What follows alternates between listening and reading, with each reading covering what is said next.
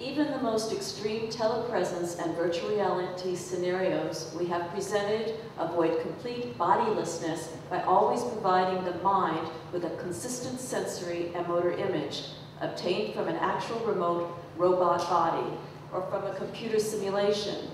In those scenarios, a person may sometimes exist without a physical body, but never without the illusion of having one.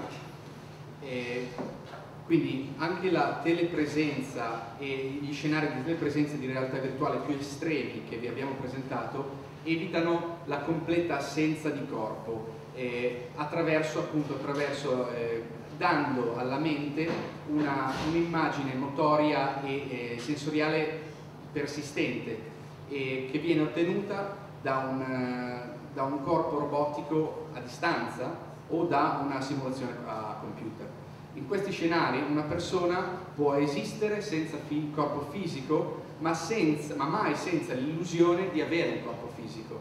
Questa è una citazione di Hans Moravec. Telepresence and network skin are other areas that we've been dealing with for some years now, probably over several decades. But still, it hasn't come as close as we want it to, where we have true experience sensorial experience through all our senses, smell, audio, taste, audition. E quindi questa è un'altra questione, quella della, della, della telepresenza e della, del sistema della rete pelle, eh, che eh, stiamo arrivando sempre più vicino al, al nostro punto, a, dove vogliamo arrivare, quindi ottenendo una, una, una sensorialità secondo tutti i sensi, quindi il tatto, l'udito, la vista, il sedie, tutti i sensi di cui disponiamo. Second Life is very basic environment for us to go in and communicate with each other, taking on types of bodies, avatars. In fact, the first thing that we do when we go into Second Life is to find a shape or a body to represent us in that venue.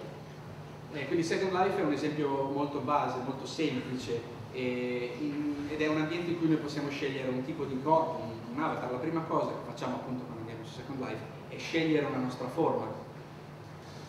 But Second Life is just one tiny step in miles and miles of possibilities for taking our minds and our bodies, our identity, into virtual simulated environments.